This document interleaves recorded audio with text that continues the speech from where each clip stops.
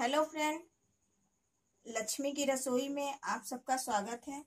आज मैं आपके लिए लेकर आई हूँ फ्रूट सैंडविच बनाने की रेसिपी जो बनाने में बहुत ही आसान और हेल्दी नाश्ता है। इसे आप बच्चों को भी खिला सकते हैं बर, खिला सकती हैं बड़ों को भी खिला सकती हैं। झटपट ये रेसिपी बनकर तैयार हो जाता है। हम बनाना शुरू करते हैं। एक अनार को धोकर छिलकर इसके बीज निकाल चुके हैं। एक खीरा को हमने बारीक काट लिया है। एक सेब को हम बारीक काट चुके हैं और एक संतरा लिए हैं।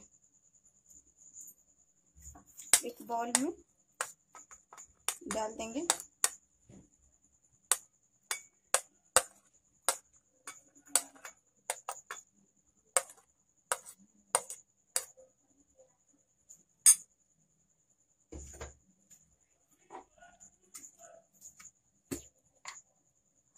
अब इसमें हम दो बड़े चम्मच हनी डालेंगे।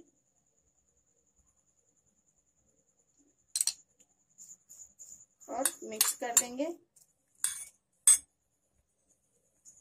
थोड़ा सा काला नमक डालेंगे। और एक चौथाई चम्मच चाट मसाला डालेंगे। सभी को अच्छे से मिक्स कर देंगे।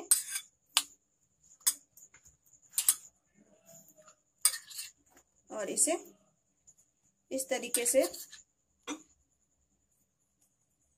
अब इस तरीके से लगा के इसको ढक देंगे ब्रेड से।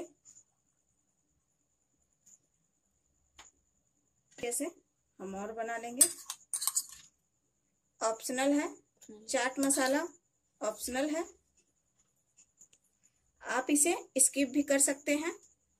इस तरीके से झटपट आप बच्चों को हेल्दी नाश्ता खिला सकते हैं, बड़े भी खा सकते हैं। अब हम इसको बीच से काट लेंगे। इस तरीके से हम इसे बीच से काट देंगे।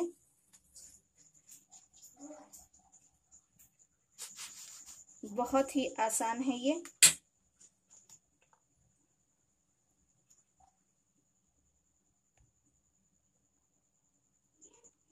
बहुत ही आसान है ये बनाना।